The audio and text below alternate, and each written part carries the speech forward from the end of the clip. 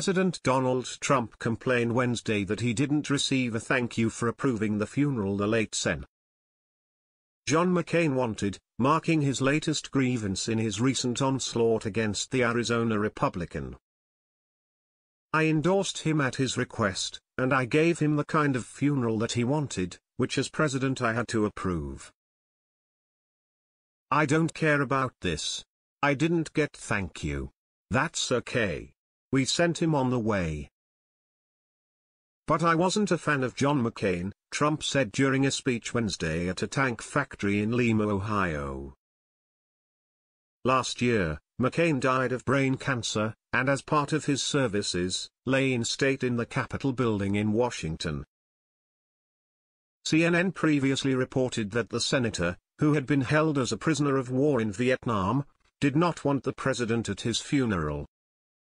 McCain's daughter, Meghan McCain, also revealed earlier this year that she wished Ivanka Trump and Jared Kushner, Trump's daughter and son-in-law and senior advisors, had not attended the funeral. Trump's remark about the funeral came as the president has continued to denigrate the dead senator's legacy. Last weekend, Trump attacked McCain in several tweets that targeted his ties to the controversial Russia dossier and his vote against repealing Obamacare. He also referred to McCain as being last in his class at the U.S. Naval Academy. On Tuesday, he continued his criticism, telling reporters at the White House that I was never a fan of John McCain and I never will be. The late senator's widow, Cindy McCain, publicized hateful messages she's been receiving since Trump's tweets, and daughter Meghan McCain has continued to respond to the president online and on ABC's The View, where she's a co-host. All the while, a growing number of Republican members of Congress have been publicly pushing back on Trump's comments, defending McCain. In front of factory workers at the Ohio plant on Wednesday, Trump dedicated a considerable amount of time in his speech to disparaging McCain. I have to be honest, Trump said, I never liked him much. Hasn't been for me.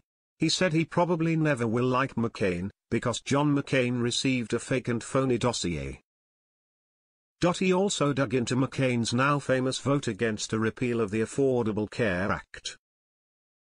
When he finally had the chance to do it, he voted against repeal and replace, the president said.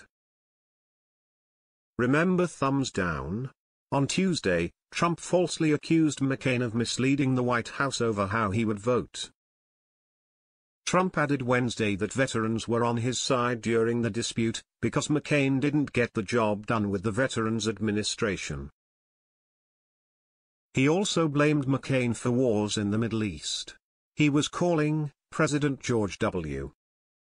Bush, President Bush all the time, get into the Middle East. Get into the Middle East, Trump claimed, adding we've lost tremendous health and tremendous lives in that war.